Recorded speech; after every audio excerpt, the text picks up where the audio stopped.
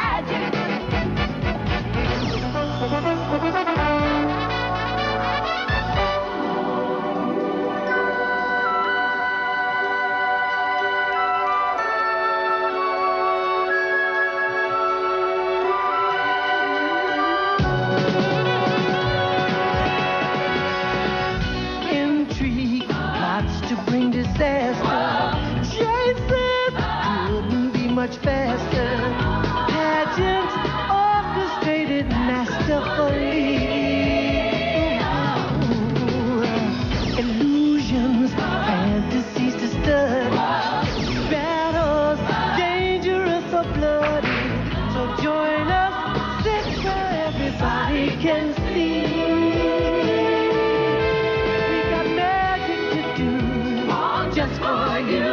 All our miracles on display. We've got parts to perform, hearts to warm. All those scenes from silver screens as we go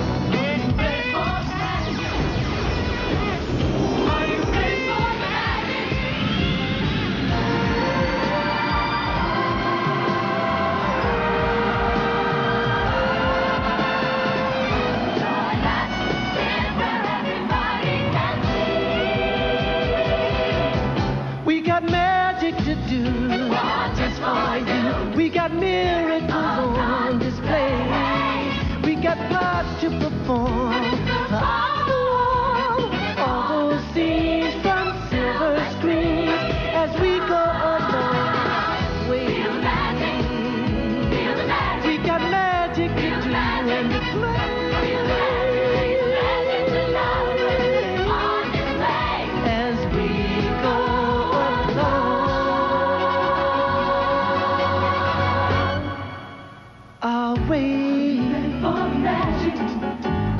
Yeah. Are you ready for magic? Go along our way. Are you ready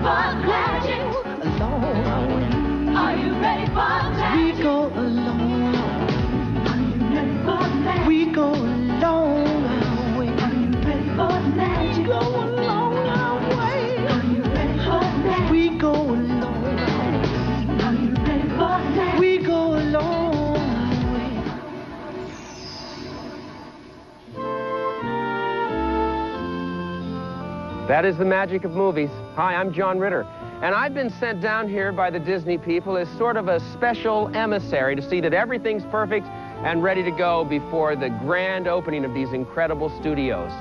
Can you believe this? I just left Hollywood, California, and here I am in Hollywood, but in Florida. Now, would you look at that? The Chinese Theater. I just entered through the studio gates, and right over here is the old Hollywood Brown Derby restaurant. All these landmarks that mean Hollywood to much of the world, all recreated here at the Disney MGM Studios theme park in Florida. What they have done is built movie studios that combine business and pleasure. The business of making movies and the pleasure of the public who can watch the movies and television shows as they're being made. To give you an idea of the size, let me put it into perspective. The studio tour and theme park area is 135 acres, making it one of the largest movie lots in America. And that 135 acres fits into Walt Disney World, which is twice the size of Manhattan. We're not talking theme park, we're talking theme country. There's a lot to do before the gala opening, but I think we can get it done. After all, we've got two full days. Uh, excuse me, Mr. Ritter. Yeah. I'm on my way to my post, and I overheard you say uh, something about the opening. It's not two days, it's less than two hours.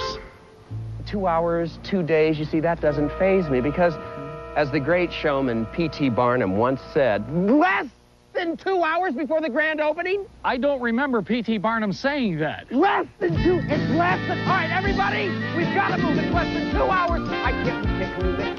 Oh, we have to move, we're on TV. Come on, move it. Harry Anderson's World of Special Effects, Kate Jackson, and a movie memory from Ronald Reagan when we return. We now return to the grand opening celebration. Now, you see, I have to make sure that everything's working, so don't panic. We're going to meet the deadline, and everything will be fantastic. Let's see, we've got the stuntmen, showgirls, seven piano-playing monkeys on risers. Are they here? We're not sure about that, but I'm sure they'll be here. 100 redheads, I personally supervise that. 600 dancers, one Willie Nelson in performance, good. Thousands of fireworks, check. At least three singing and dancing Pointer Sisters. All right, a host of marching bands, one inimitable George Burns, and streamers. Do we have this? We have the streamers. Tap dancers and trained flying birds, good, and much, much more. But uh, before all that happens, I've got to make sure that everything's ready. So why don't you um, come along with me and check it out for yourself, okay? But uh, first, uh, just meet me back here in about a minute, all right? Don't go away.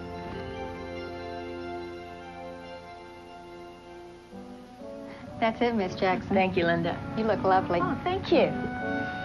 Hello. I'm originally from Birmingham, Alabama, and I saw a lot of movies when I was growing up, but it wasn't until I was I, I, about 20 that I first saw Casablanca, and it really made an impression. It was a romance, of course, and you know, being 20, I went right along with that, but there was more. See, I can still remember the first time I saw the scene at the airport at the end. You know, I had my handkerchief out just like everybody else. But when I left the theater, I took something else with me. It was the first time that I'd really thought about honor as a living experience. Now, now. He's looking at you, kid.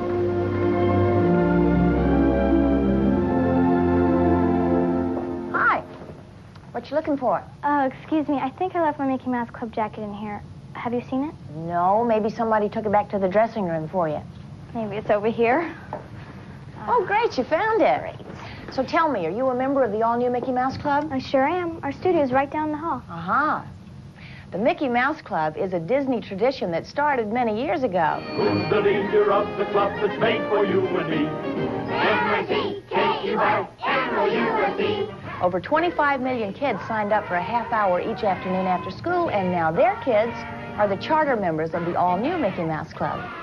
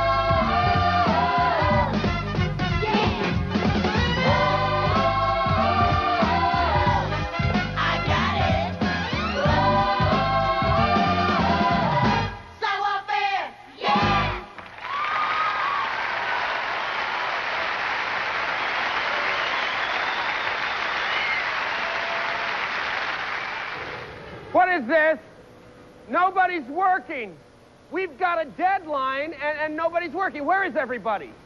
Come on, people. This is supposed to be called Catastrophe Canyon. I want to see some action. I want to hear some action. I want to feel some action. And now it's raining. This is not good. We're going to be rained out tonight. What is this?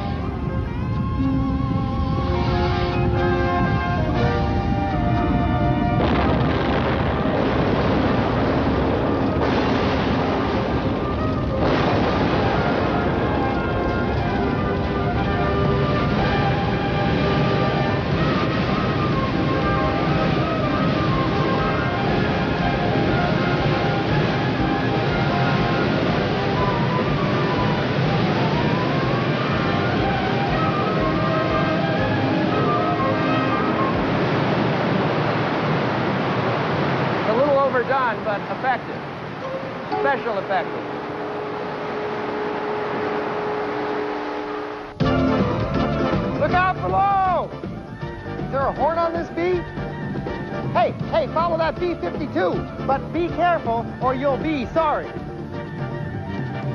What's this? 20,000 Leagues Under the Bee? Hi, I'm Harry Anderson, and this is my friend, the bee. He insisted on being here for the grand opening. I call him Bear. You see, they have this other bee that they call Square. I wasn't sure whether I should ride Be There or Be Square. This is a good demonstration of a beautiful special effect called chroma key. Wherever the camera sees blue, a whole new background can be substituted. And when it's all put together, the final result is movie magic.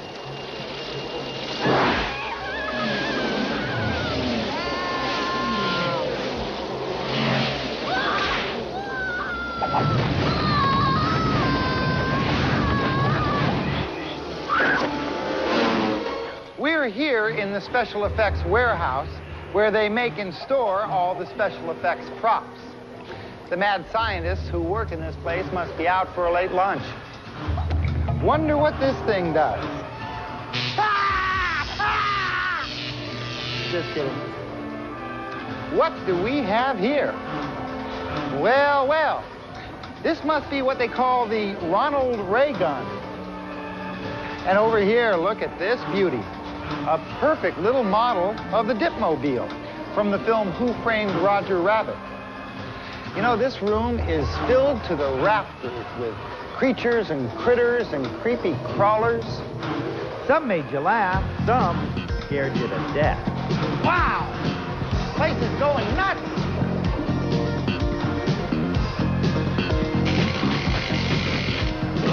Yeah. You know, all of these props were made for specific motion pictures. And if you weren't afraid to peek, you might have seen some of them. It's supercalifragilisticexpialidocious, even though the sound of it is something quite atrocious. If you say it loud enough, you'll always sound precocious. Supercalifragilisticexpialidocious. Because I was afraid to speak when I was just a lad. My father gave me nails a tweak and told me I was bad. But then one day I learned a word that saved me aching nose. The biggest word you ever heard, and this is how it goes. Oh, supercalifragilisticexpialidocious. Even though the sound of it is something quite atrocious. If you say it loud enough, you'll always sound precocious. Supercalifragilisticexpialidocious. Under a little underline, under a little underline.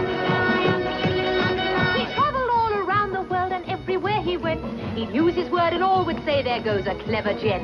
When Dukes and maharajahs pass a time of day with me, I say me special word and leave me off, me off the tea.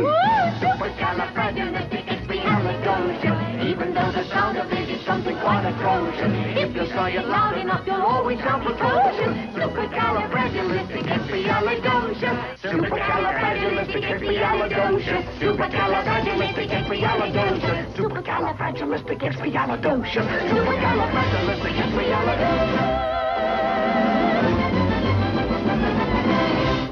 That last film certainly had a handsome leading man.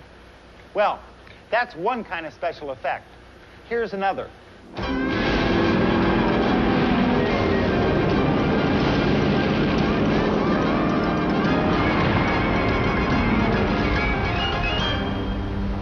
Looks authentic, don't it?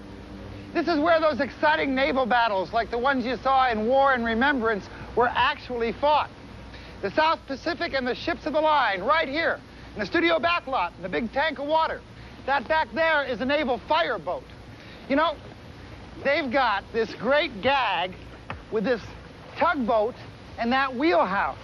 But uh, it's never been tried before, and I don't know where we would find a sucker stupid enough to get in there the first time. Harry! Harry!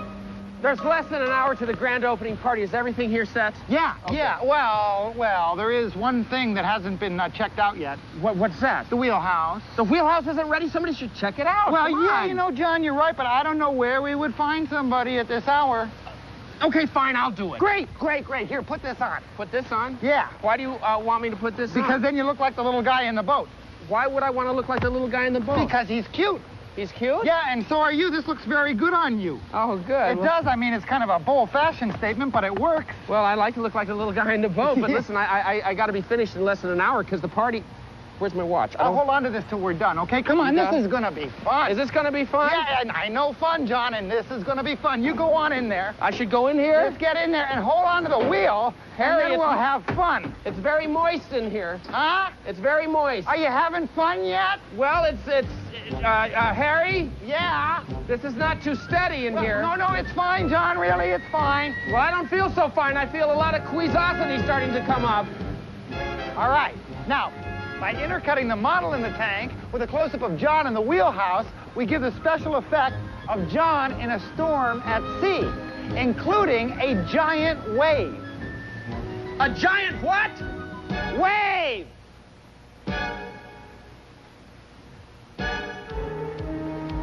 What a sap.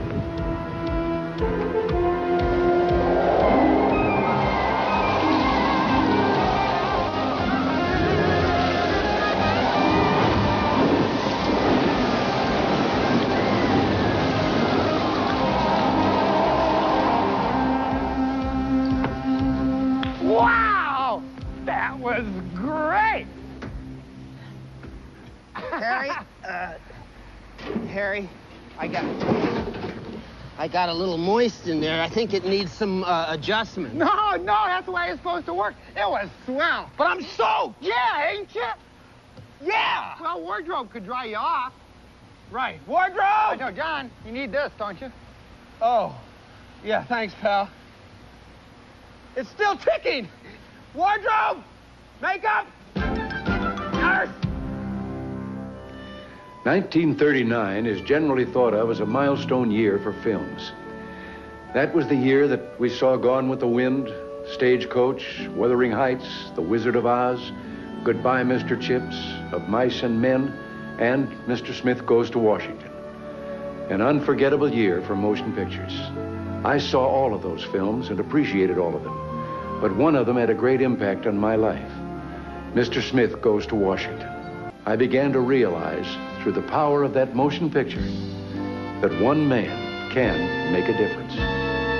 John Forsythe, Dick Van Dyke, and the Indiana Jones Epic Stunt Spectacular when we return. Dokładnie nie pamiętam jaki, natomiast... The one that I recall the strongest is Teutonic Knights, the movie that told about the struggle of the Polish nation in those times. It reassured me that sometimes you won't succeed without a fight. Na pewno utwierdził mnie, że bez walki, no, czasami się nie. One must fight. Let the present time change the form of the fight. In today's world, you can fight peacefully, and that's the sort of fight I'm in. Walka w świecie jest możliwa pokojowa i ja ją prowadzę. I do not imagine myself or other people without film. The film explains history or how it presents the struggle. We take it all for granted.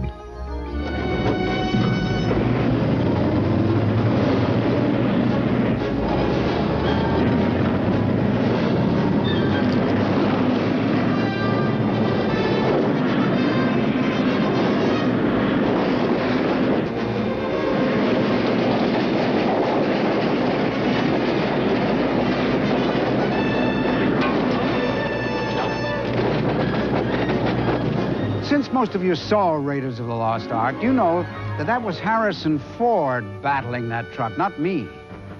You don't know? Well, let's put it this way. You're right, it wasn't me, but you're wrong. It wasn't Harrison Ford either. It was his double, a stuntman. You know, there's something so familiar about your voice. Come on, Angel. Although Sir Harrison Ford does a lot of his own stunts in his pictures, usually when an actor has to do something really hazardous in the course of making a movie, these folks, the stuntmen, take over.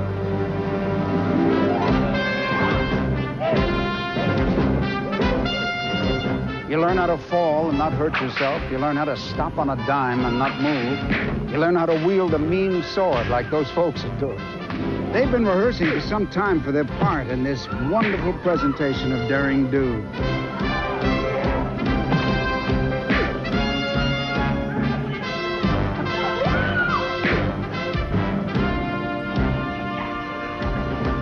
Boy, is the training tough.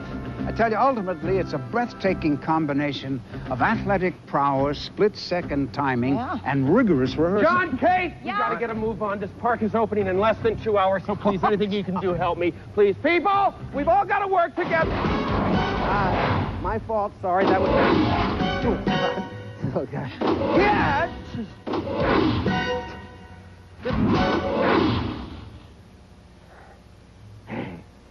Yeah. We're fine. Just the...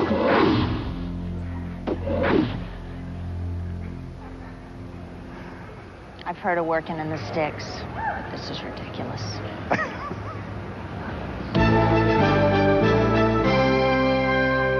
Hi, I'm Dick Van Dyke. You know, one of the perks you get after being in this business for a little while is when the script calls for an attractive young star, I am given not one, not two, but three lovely ladies. They're the stars of Parent Trap 3. These are the Creel triplets. And I'm going to show the girls some of my favorite places around the park. But uh, first, let's find out which is which here. My name is Joy. Mine's Leanna. My name's Monica. Hi, I'm Dick Van Dyke. You can call me Mr. Van Dyke. This place looks exactly like the Chinese theater in Hollywood. Even down to the footprints in the cement. I'd love to put my footprints in cement. You know, there's two ways to accomplish that. You can become a famous film star, or you can rat on Big Louie. Let's see if her feet fit.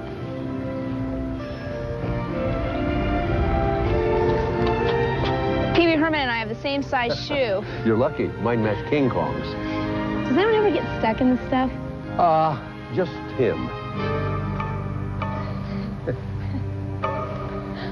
Okay, girls, let's go. I want to show you around the park.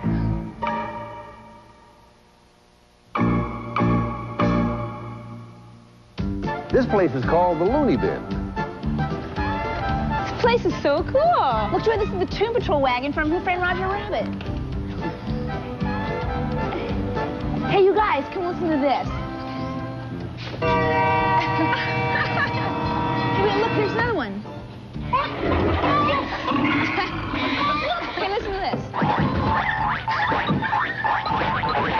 Girls, come here. This is my favorite box. You got to hear this. Okay, now listen. Uh, you know, I tried a spot remover once. Didn't take the stain out, but my dog disappeared. you know, once there were two farmers. Now there's more. Now there's more.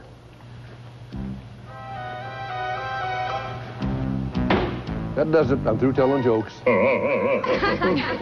Everybody's got to be a critic. hey, look over here.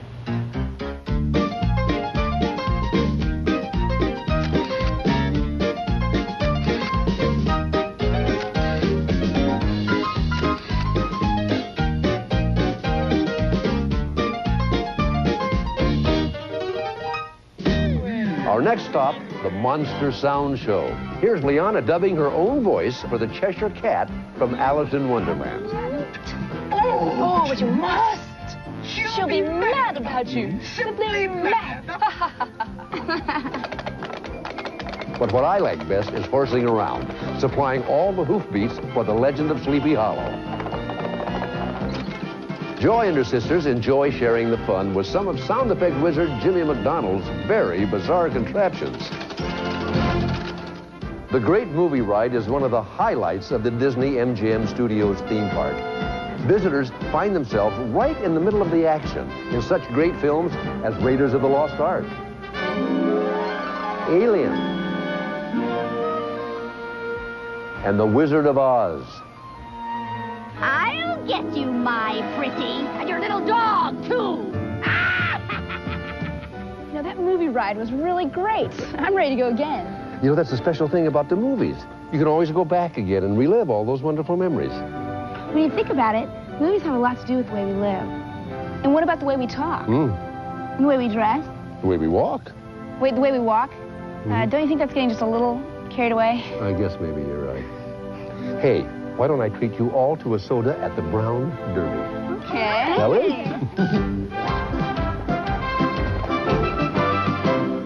Good evening. I'm Mickey Rooney. Every once in a while, someone will ask me, what movie made the biggest impression on me? Without thinking twice about the question, I always say, Love Finds Andy Hardy. Yes, I was lucky enough to make 17 of those Andy Hardy series, but it was in 1938 that I made that special one with a certain young 16-year-old girl named Judy Garland. Judy had such a magnificent talent. There was a certain vulnerability about this wonderful girl that made you want to take care of her. Audiences fell in love with her, and so did I. That's why my memories are so fond of Love Finds Andy Hardy. Thank you.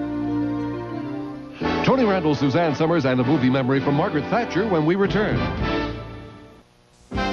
We now return to the grand opening celebration. I think the first film that really had a strong impact on me was Grapes of Wrath. I saw it when I was quite young. And before then, I think the only films that I'd ever seen were great big, glamorous Hollywood adventures and romances. And suddenly here was this film that was so simple, so very real, and it was about poor people, the kind of people that if you were privileged and upper class like I was, you, uh, you didn't normally think about or pay any attention to. And on top of it, one of them was my father, and they were, they were getting into such trouble and being beaten and killed just for asking to be treated fairly. And then at the end of the movie, in the famous speech to his mother, my father said to her, maybe a man ain't got a soul of his own. Maybe he's just got a piece of a big one. And it seemed to be saying that life should be about more than just me, and that you can commit your life to to larger things, to larger values, and if people work together, they can attain those those goals. That's to me what the movie represented, and certainly what my father represented. Welcome to Superstar Television. Superstar Television is a unique and oft-times hilarious attraction of the studio. Not only does it offer a delightful capsule history of TV, but in this theater, many of your favorite shows, from Gilligan's Island to Cheers, feature a very special guest star, you. Here's how it works. First, members of the audience are chosen to perform in the show. Yes, you. Come on up here. Let's give her a hand, ladies and gentlemen. Right up through those steps. Our fledgling actors are then hurried backstage for costumes and makeup. New York. Do you have any experience in television? I watch it. Great, then you're in the show. Come with me. Right this way. Today on General Hospital. The engineering geniuses placed the newly chosen, now costumed theme park guest into the existing footage of famous TV shows. Hello? This is Lucy Coe Jones. I told you before, Donald isn't here. Where is he? I have been trying to get him. I'll bet you have. Look, Lucy, you stay away from my husband. Goodbye. Bobby's television debut proved to be a dream come true. He got to work with Howard Cosell. Well, tell me, what would you prefer? An appearance on The Tonight Show or a guest spot with Howard Cosell? I'm a jock. I'll take Cosell. Great. And now, Howard Cosell Sports Break. The place, the big Shea, Shea Stadium. The championship resting on the bat of this player. The pitch, the swing, and it's out of here. A grand slam home run. The Mets win. Baseball fans will remember this one for a long, long time. And we have the individual voted most valuable player of this game. Now, how were you able to read that curve so accurately? Gee, Howard, I really don't know. I just close my eyes and swing. Modesty, honesty, too, and the science of hitting. Thank you, my friend, for being with us. Thanks, Howard. My pleasure. And that's this edition of Sports Break. I hope you can join us next time. Until then, Howard Cosell saying so long for now. Have you ever wanted to make Johnny Carson laugh? What was your least favorite picture that you did, and then maybe after you did it, said maybe I shouldn't have done it? Was there one? The worst movie I ever made was a musical. I was supposed to play an accordion, and as you know, Johnny, I'm no magician. They won't even let me sing in the shower. But they made me do it anyway, and it sounded so bad, people just got up and walked out on me. And these people were on an airplane.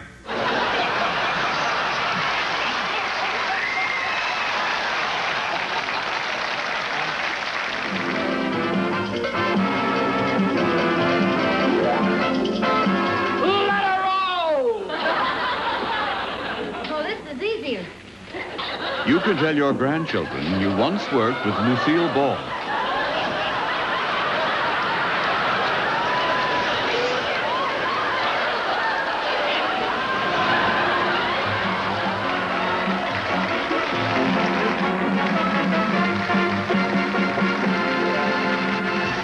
And a happy surprise bunch of tour guest stars wave goodbye after their television debut.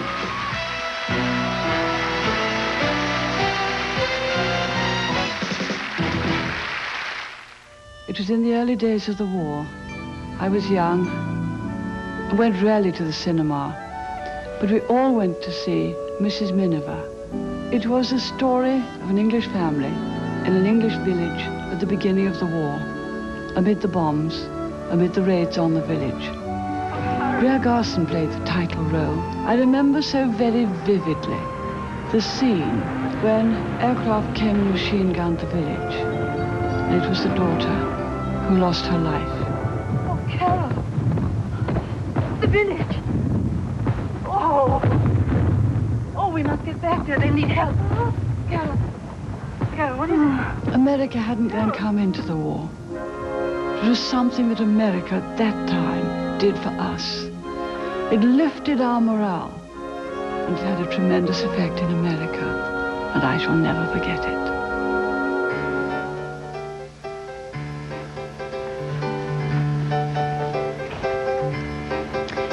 Wardrobe. In real life, you go to the mall. When you're making a movie, the mall comes to you. this is just another part of the magic.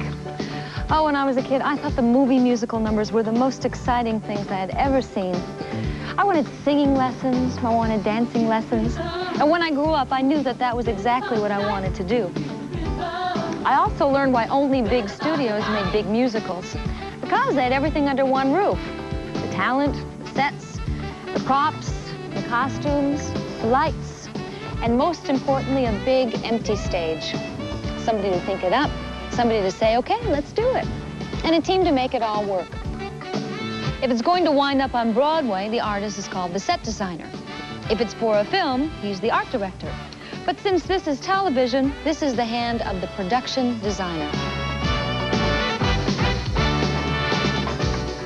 And then the craftsmen take over. The wood is pulled and cut and assembled and nailed and painted and lit and decorated.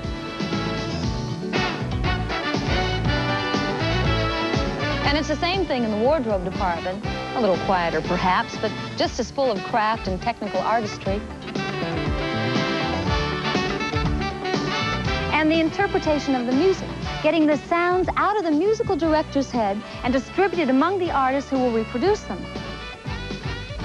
And then the exhilarating, tiring work of rehearsal, the repetition of the steps and moves that flow from the choreographer's mind and feet into the rehearsed second nature of the performers.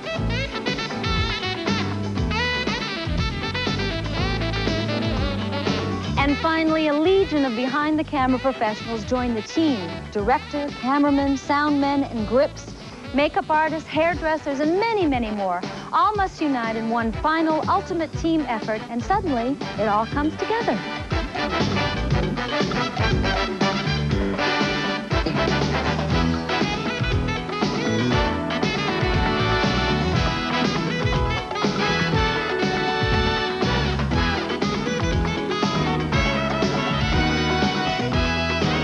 Everybody walk in place, please. Open positions.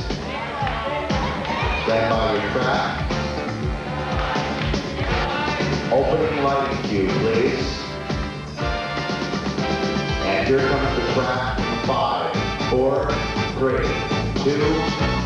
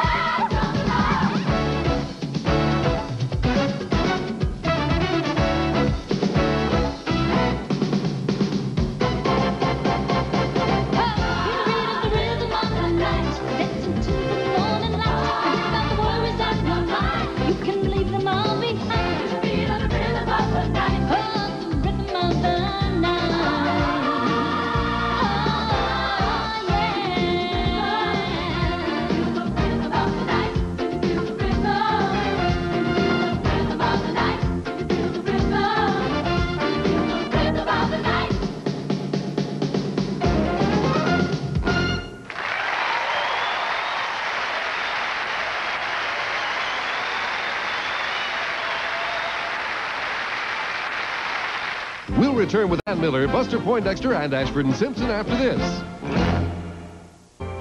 I got my first job as an actor back in 1932 on Broadway. And although it was right at the rock bottom of the Depression, the show business there was very, very good. And then I got a contract with MGM and came out to Hollywood. And I was loaned out for a couple of pictures, Frank Capra pictures. Uh, Frank said, I, I have an idea for a picture. It's called It's a Wonderful Life. It's about this fellow that was going to commit suicide and, and uh, an angel named Clarence uh, who hadn't won his wings yet. He came down and uh, he, he saved him. I knew if I were drowning, you'd try to save me. You see, you did. And that's how I saved you. Uh, very funny. Well, who are you then? Clarence Oddbody, AS2. Oddbody. AS2. What, what, what's that AS2? Angel, second class. It, I, I, it's just been almost a part of my life uh, for all these years. And for this reason, this is my favorite film. It's a Wonderful Life. Thanks, John, for pulling me out of the cement back there at the Chinese theater. Well, I wish I hadn't pulled so hard. Where did you finally land, anyway? Use the street. I think it was called Dopey Drive, but I'll, I'll be fine. Listen, uh, it's only a short while before the official grand opening, so I gotta go do a final check. All right, see you later. Just a little lower back pain. I- I'm okay. All of the magic of storytelling lives here in this building, the Disney Animation Department. It's been designed to showcase the fascinating process of creating the animated films for which Disney is famous. More than 60 years ago, Mickey Mouse came to life on Walt Disney's drawing board, and since then, Disney and his animators have been the great innovators in the art and science of animation. But it still begins with a story, a soundtrack, and tens of thousands, sometimes hundreds of thousands, of individually hand-drawn pictures. Here in this area, visitors to the park can watch the animation artists at work, and they're a dedicated lot. What gets me excited about animation really is the fact that you can, uh, you know, sit down at a table and uh, with just a pencil and a piece of paper make something come to life. Oh, oh, I beg your pardon. The more and more that you can become that character, the more you feel like that character, the better your animation will be. An animator is an actor. He, he gets a scene, he has to act it out on paper.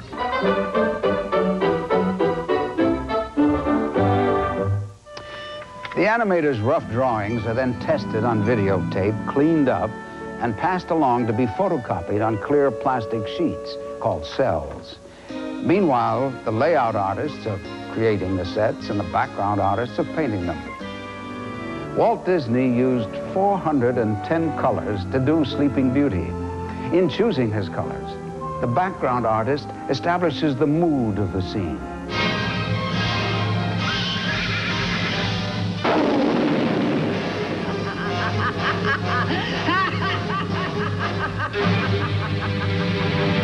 Here in the ink and paint area, the individual cels are obviously inked and painted. Everything here has to be perfect because the next step is the camera department, where the finished cels are laid over the background and then photographed frame by frame. Now, when the film is run at normal speed, the characters move and seem to come alive. The special magic of Disney's animation, however, comes not from the process, but from the Disney artists who use it. It's they who chart the range of human emotions and infuse personality into cartoon animals and even inanimate objects. You have to breathe the life into it. I think it's got to come out of the heart more than anything else. It's got to come from the heart through your arm, into your hand, and onto the paper. Oh, that's very, very cool. It's really creating characters that you can uh, believe in and you can, you know, laugh with and cry for and love. Oh, I just love happy endings.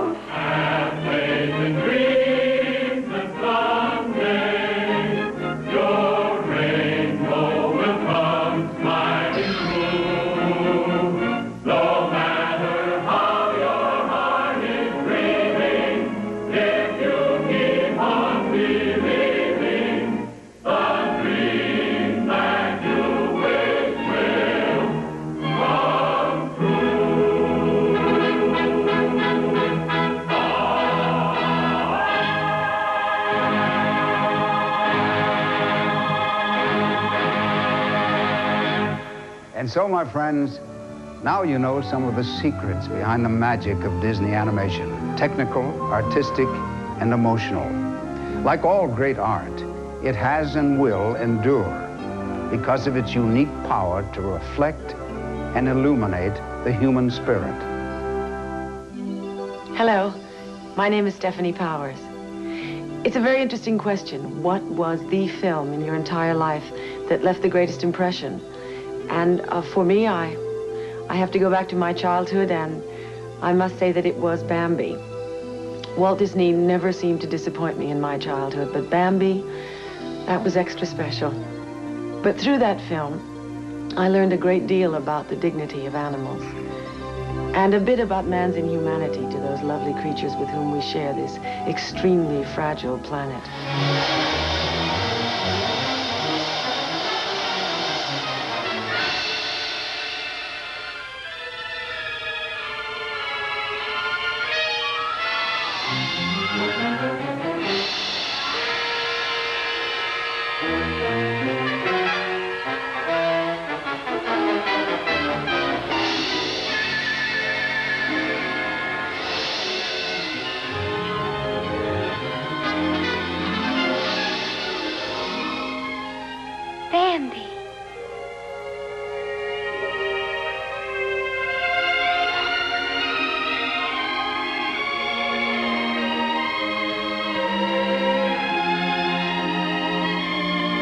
Shame that we haven't made a better life for Bambi and his mother. But perhaps we might. If we keep trying, we might get it right one day. If not in this generation, perhaps in the next. Thank you, Bambi. You certainly made me a better person. It's just a little while until we swing open the gates on this, the newest attraction at Walt Disney World. And I thought I'd check out my favorite place to be at a movie studio. It's a fascinating area that we call the back lot. This is where there's even more movie magic. For example, this. Now, this could be an ordinary house on an ordinary street anywhere in the USA, but it turns into something special when the stars come out.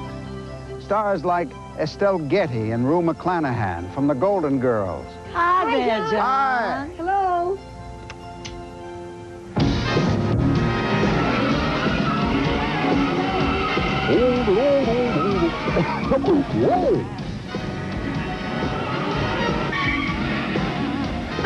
How about a bath, Herbie?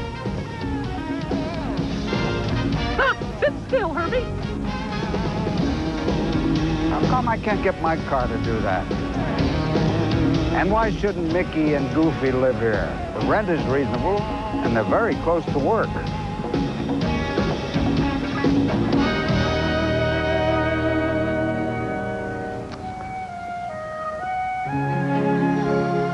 These are houses for all seasons. Summer turns to winter just by removing the flowers on the front lawn and adding a heavy snowfall. Well, adding snow flurries, anyways. But the most interesting thing about all these houses is that they're just shells. You see, you walk through the front door and there's nothing. Excuse me, I'm very sorry.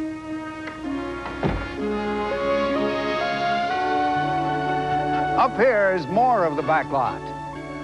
All those great gangster movies of the 30s left us the pawn shops and the diners of New York's Lower East Side. And the brownstone stoops of Manhattan's West Side, right over there. King Kong has left us the Empire State Building. And 42nd Street left us the Chrysler Building, right next door. Crocodile Dundee gifted us with the front entrance of that splendid hotel.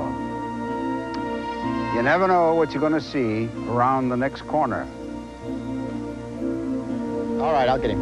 I'll get him right. Yeah, the dancers are on their opening marks. Turns out there's no film in the camera. Hey, Buster, we're ready for you on the set now. Oh, good. Good. This is gonna be Hair great. looks great, man. Hey, watch it, kid. okay, where do I go? Uh, right at the top of the stairs. Right, right here. Opening position. All right, stand by, everybody. Opening positions. This is all right here? Okay, New York Street production number with Buster Poindexter and George Irving. Scene one, take one.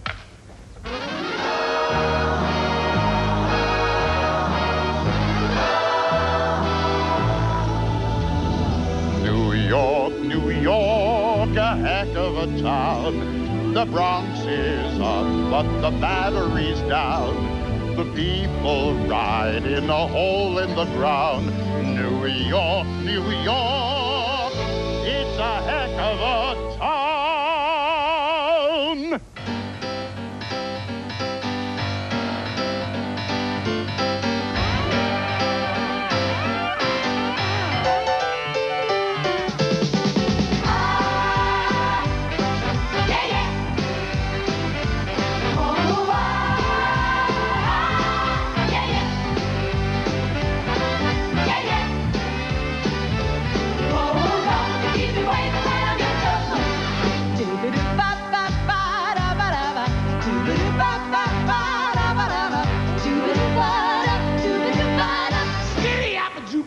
Hoo ha yeah. Who's the living dollar with the beautiful eyes? Well, the pair of lips are like a triumphant sign. I'll just tell her, baby, won't you swing with me? Won't you tell me, baby, what a wing it'll be? So I said politely, darling, me, I ain't you. She said, don't you keep me waiting when I'm in the mood. First I hit her lightly, then we started to dance. And I held her tight there with a dreamy romance. And I said, hey, baby, it's a quarter to three. Hands up, that's a moonlight, won't you share it with me?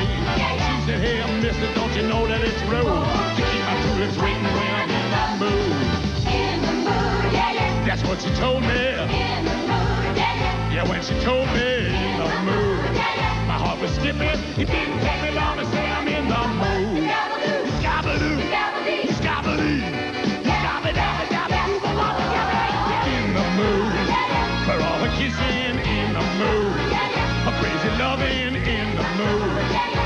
was missing, it didn't take me long to say I'm in the mood.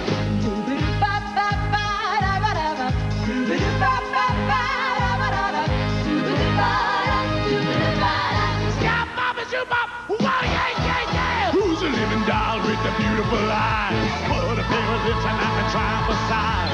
I'll just tell her, baby, won't you swing it with me? Won't you give me maybe one a wing and a bee? Don't you keep me waiting when I'm in my mood. No hesitating when I'm in my mood. The birds and bees are mating when they're in my mood. Come on, pretty baby, I'm in the mood. Yes, I'm in the mood. yes, bop a zap dee bop a doop bop, yeah. All right, hold, hold, hold, hold, hold. All right, that's great, kid. That's a wrap. That's a wrap. Move on to the next bed. Here we go. Okay, here's your opening positions there. You guys ready? Yeah. Okay, let's give it a shot. Okay, New York Street production number, 8th Avenue, Ashford and Simpson, scene two, take one. Oh, feel the heat. Oh, on the city street. Oh, oh, feel the heat.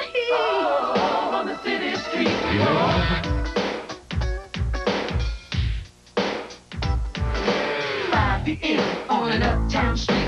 The population's praying for a break in the heat. But there's no relief, no, there's none in sight. Just another day of sweating and a sleepless night. Singing, hot town, summer in the city. Back of my neck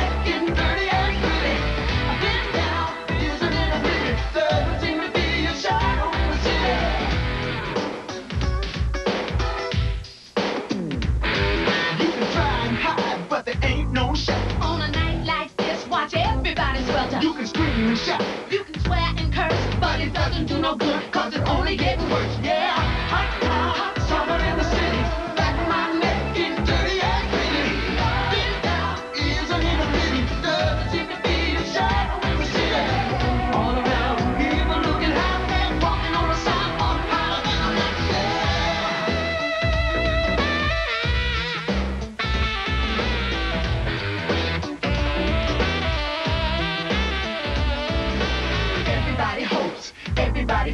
can leave the heat behind maybe one of these days. But the city's tough and it's hard to beat. And right now you're on the sidewalk in the heart of the heat. Hot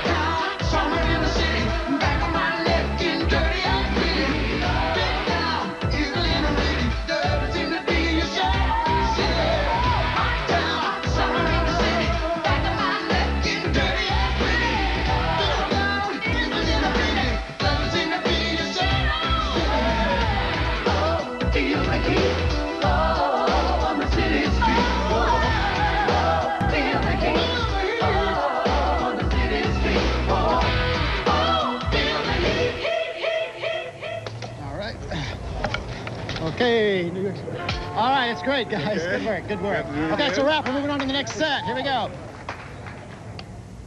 New York production number Ann Miller, 42nd Street, scene three, take one.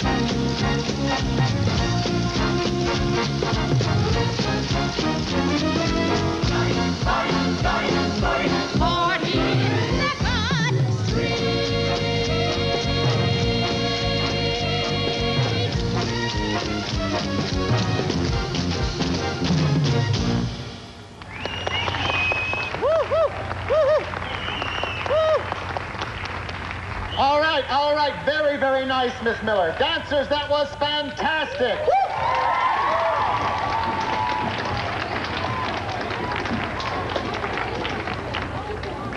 All right, that's a wrap. Good night, everybody.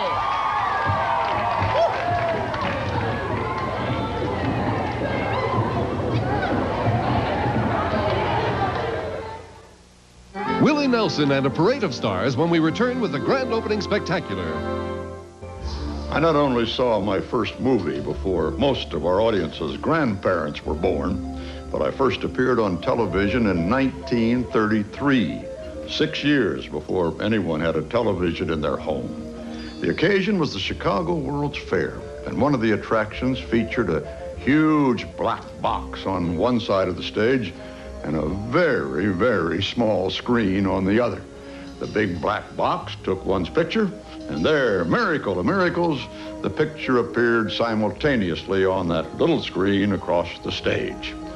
I, I panicked my companions by doing an imitation of an act we'd just seen, a man who actually played two clarinets at once. Fortunately, I, I did not imitate another act we had just seen that made an even greater and more lasting impression on me, by the way. Sally Rand, the fan dancer. A few years later, on April 30th, 1939, exactly 50 years ago today, the first commercially transmitted TV program was broadcast. Few people saw it, of course. Most Americans only heard about it, sitting in front of their family radios. The TV broadcast was of the President, Franklin Delano Roosevelt, speaking from the World's Fair in New York. The theme of the 1939 fair was the world of tomorrow, and certainly television has had an enormous impact on all of our tomorrows. We've rejoiced together and grieved together. We've taken our TV cameras to the moon, and we've seen our little planet from afar. And that's given us a new understanding of the need to protect our spaceship Earth and to make life better for all of its inhabitants. So, TV, here's looking at you. Happy 50th birthday. Thank you, Walter. And that's the way it is. April 30th, 1989, and you are there. Is everyone at a station? Are we ready for the grand opening? Kate, John? All set, John. On with the show. Rue, Estelle. The welcome mat's laid out. Wipe your feet. Harry! All systems go, John. Dick and the Creel sisters. We have liftoff, John. Everything's A? Okay. Tony Randall. My area and I are prepared beyond belief. Okay, I guess we're as ready as we'll ever be. Let's get this show on the road. Magic person, it's all yours. Riding in the first car of the Parade of Stars are Bette Midler and Michael Eisner. Lauren Bacall seems happy to be here with her children, Leslie and Steve Bogart and Sam Robards. Kevin Costner is here with his family, too.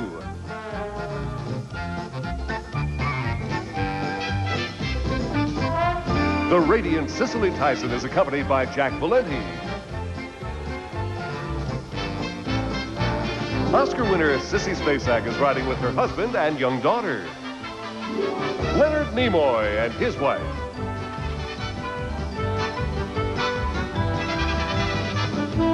Mr. and Mrs. Rick Moranis. The lovely, charming Betty White. The director of Star Wars, George Lucas. The very elegant Audrey Hepburn. Harry Anderson riding with his wife. A car full of Mouseketeers joins the parade. That's Keshia Knight Pulliam in the middle there, the youngest star of The Cosby Show. And how better to end the parade of stars than the Minnie Mouse Mickey and Minnie in a lovely new dress.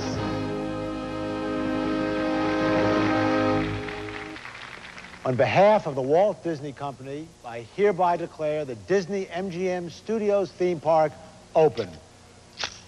Let the magic begin.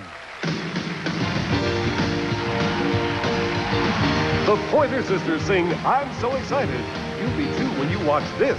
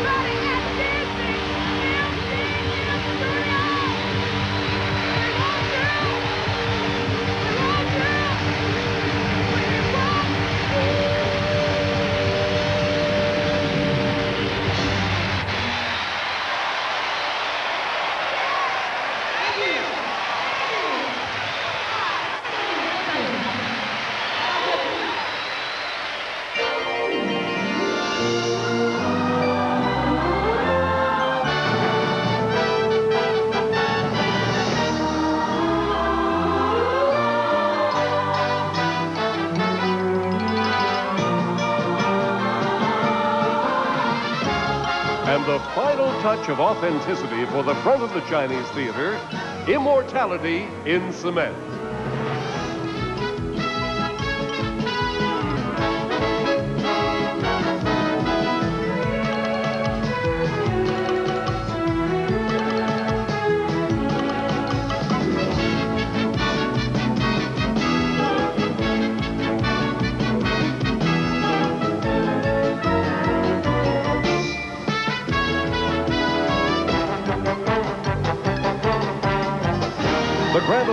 Celebration will return with George Burns and Willie Nelson.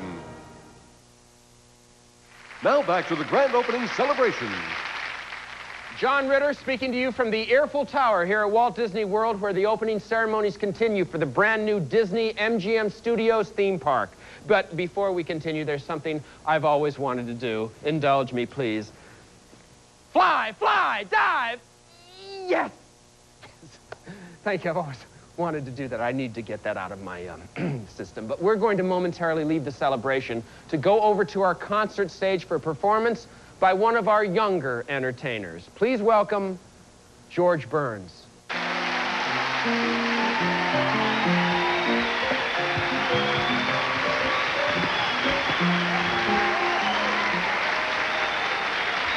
Thank you. Thank you. Thank you, thank you, thank you. Thank you very much. And it's, it's nice to be here. Nice to be here. It's nice to be anywhere. And thank you for that standing ovation. But it kind of, but, but it, uh, it kind of worries me. As a rule, an entertainer gets a standing ovation at the end of the show. You were afraid I wouldn't last that long, huh? I'll be around a long. I gotta stick around. This is a brand new tuxedo. I'm dressing right next door to the Pointer Sisters. And there's a little hole in the wall, but I didn't plug it up. Let the kids enjoy themselves.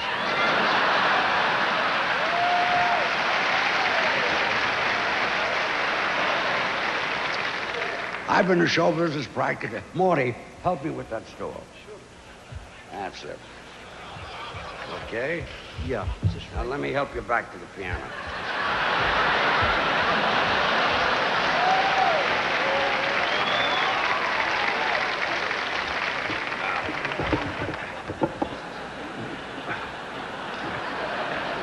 Where was I?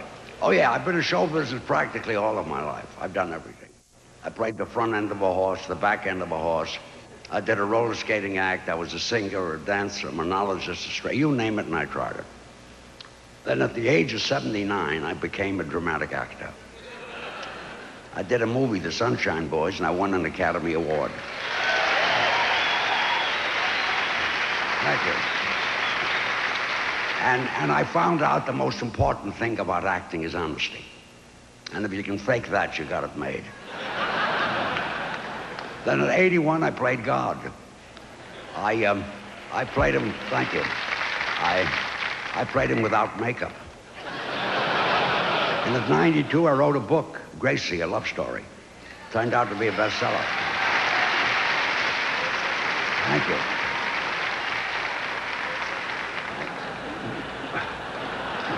Let me tell you about Gracie. Gracie played a dumb dame on the stage. The whole world thought she was dumb, but not Gracie. Gracie thought she was smart. When Gracie said these strange things and you didn't understand it, she felt sorry for you. Gracie never told a joke. She explained it to you. Like I came home one night, I said, what are we having for dinner? She's roast beef. I just put two, two roasts in the oven. I said, why two? She's why? Because when the little one burns, that means the big one is done.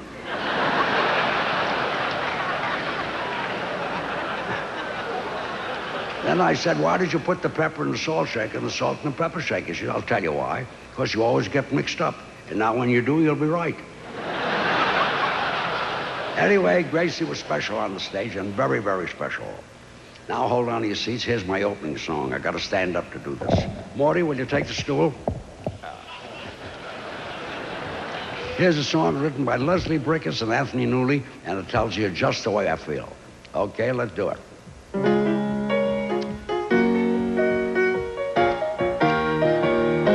Don't you realize we're living today? I'm happy to say, in the good old, bad old days. Taking the breaks, making mistakes, the good old, bad old ways. Some people say they long for the old days to take them way back when. But I'd rather stay right here with the gold days than go through that again. Seems to me you're either out or you're in. You lose or win in these sad old, glad old days. You're poor or you're rich, who knows which is which anyways? We're living on time, we're having to borrow. No one knows that we will live to see tomorrow. But nevertheless, I guess we gotta confess, these are the good old, bad old days. Day by day, you're either up or you're down, king or clown. Good old, bad old days. It's heaven or hell, hail or farewell, the good old, bad old days.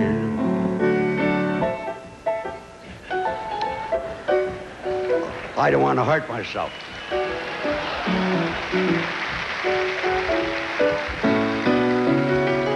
Don't you realize, come rain or come shine, they yours, they're mine in these crazy mad old days.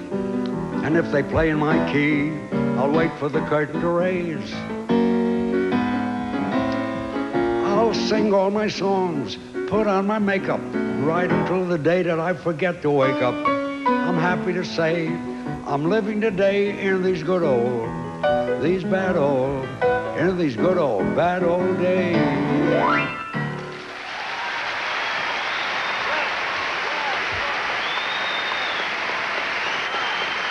Thank you. Thank you very much. You know, when I when I first came out, I said all you need is a great opening and a great closing. Well, you just heard my great opening, and now you're going to hear my great closing. You've been a charming audience, and I had a wonderful time, and thank you very, very much.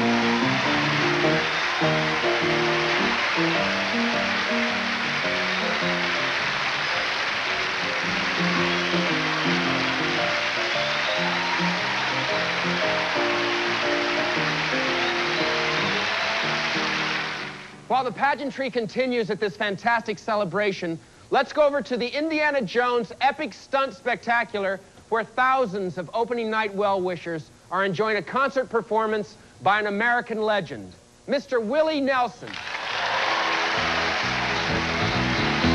the road again. I just can't wait to get on the road again. The life I love is making music with my friends.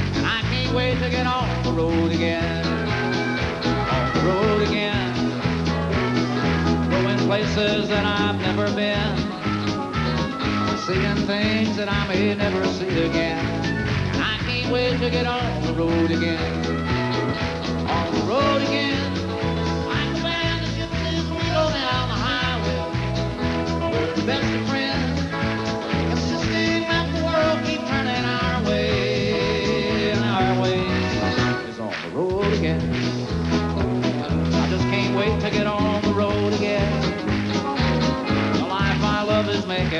Music with my friends. I can't wait to get on the road again.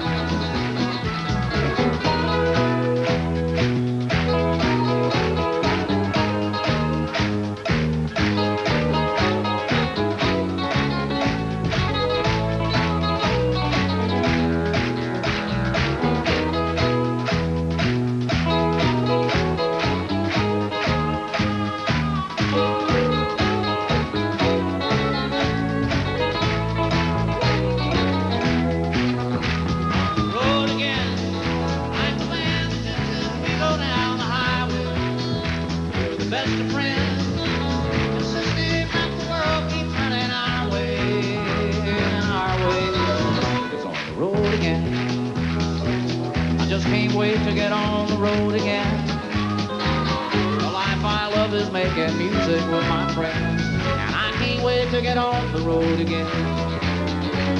I can't wait to get on the road again.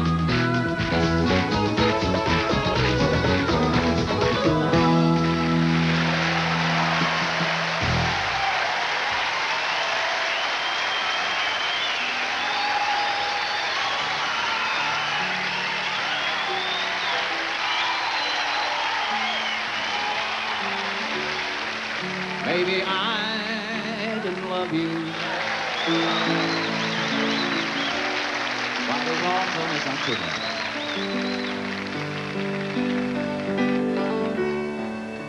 Maybe I didn't treat you quite as good as I should have. If I made you feel second best,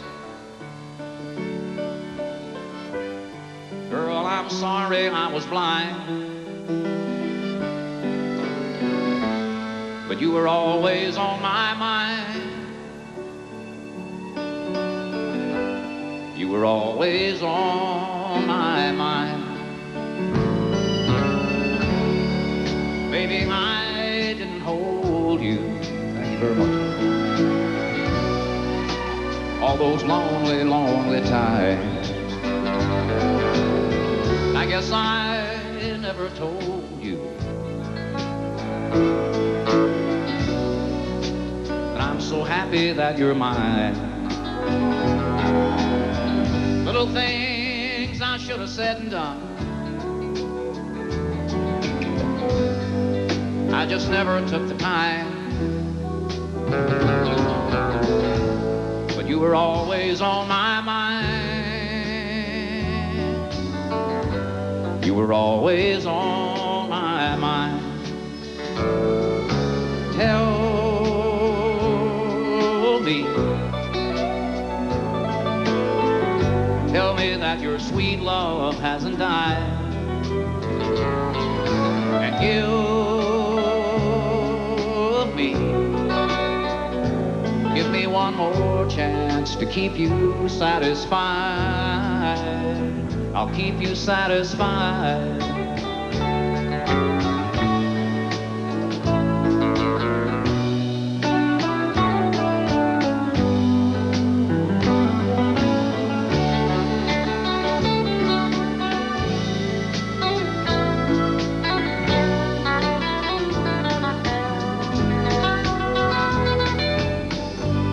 Little things I should have said and done. Just never took the time. But you were always on my mind. You were always on my mind. You were always on my mind. You were always on my mind.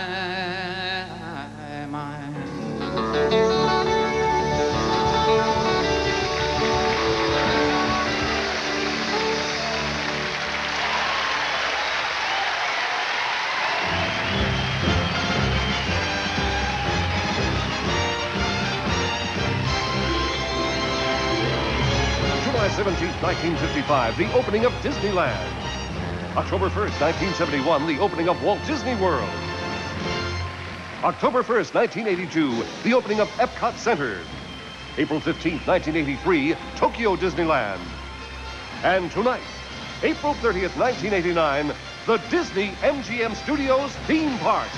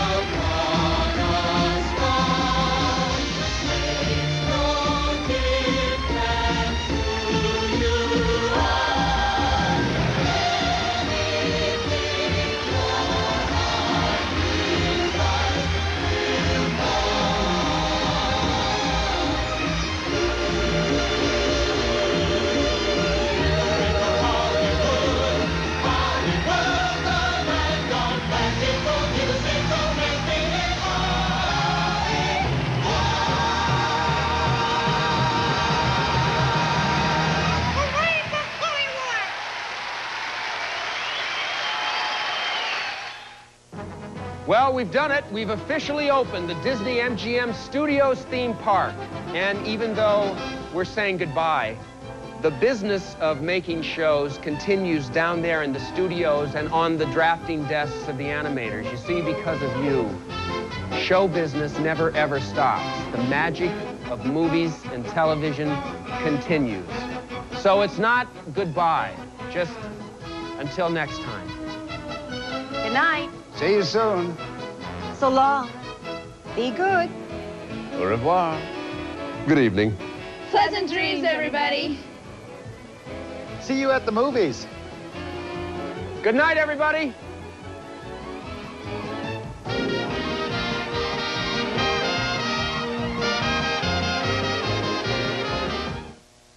This is Epcot Center.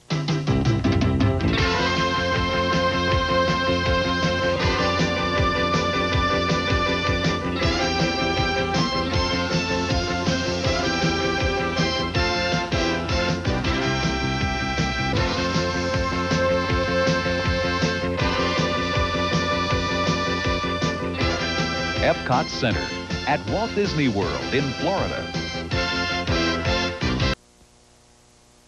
Amid our celebration, we pause to remember a star among stars. Lucille Ball taught the world that to be in love with Lucy was to be in love with life itself. We will miss her. Next, Lee Majors and Lindsay Wagner star in the Bionic Showdown. And Monday night, hold on to your aliens. The Richter scale hit an all-time high, and Alf shaking and quaking when he experiences his first earthquake. How come these things never happen on Melmac? Then TV or not TV, that is the question. There's mischief and mayhem on the NBC comedy Nearly Departed, Monday.